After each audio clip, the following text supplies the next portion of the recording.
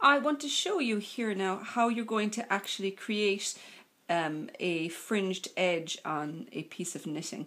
In this we've just got a very small swatch um, but it's just been done to show you what the very end of the, the scarf that I had done Aruba will look like. With this one you're going to knit the first six stitches um, and you'll bind off, in this case it's just one on Aruba but it's a few more here and then the final stitches are going to be left on this side. And then what you're actually going to do is drop these stitches and these stitches down to let them unravel and then knot the resultant yarn. So I'm just going to pull these off and we're going to start unraveling the stitches down one side. Now this is probably kind of scary because no one really likes unraveling their work but once you've actually tied knots in it, it keeps things very secure. So with this I'm actually just going to unravel the first two. This is going to make a fairly big fringe because it's much thicker yarn than the actual um, shawl is. So with those I've got this set of two and this set of two and I'm going to knot them together here.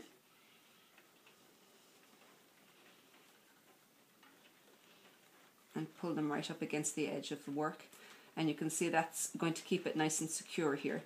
And then you're just going to continue working your way down like that. It's easier if you just actually knot as you go because then you know you won't miss any and it'll also stay secure and there's no danger of the edge of this get coming loose. So here is our next one.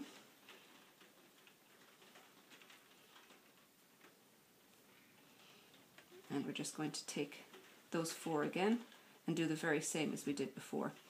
Um, you can make these bigger if you want. You can maybe knot six together if you prefer. Just the four is my preference. Um, sometimes people as well even go ahead and cut the edges you can cut the ends of these so that you've got a loose fringe. You could do it either before or after you do the knotting.